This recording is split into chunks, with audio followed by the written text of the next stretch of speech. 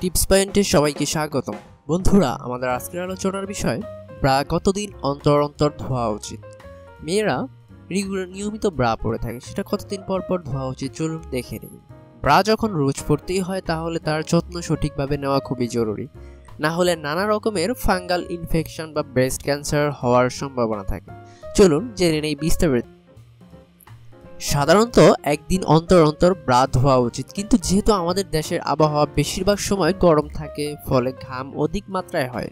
তাই ঘাম জমে র্যাশ হওয়ার সম্ভাবনা বেশি থাকে, তাই রোজ ব্রা ধোয়া উচিত। না হলে ফাঙ্গাল ইনফেকশন হতে পারে। কীভাবে পরিষ্কার করবেন? রোজ ব্রা পরিষ্কার রাখা উচিত।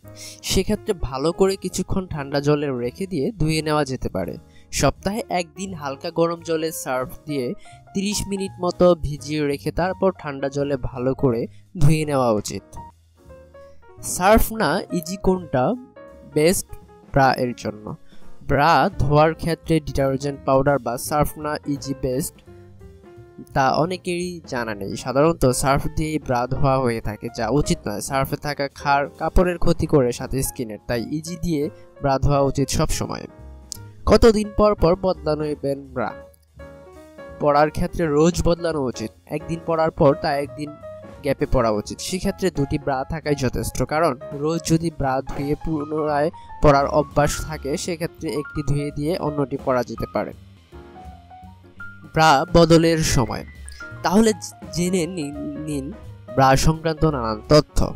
নিয়মিত পরিষ্কার ব্রা করুন। তিন মাস অন্তর অন্তর ব্রা বদলান।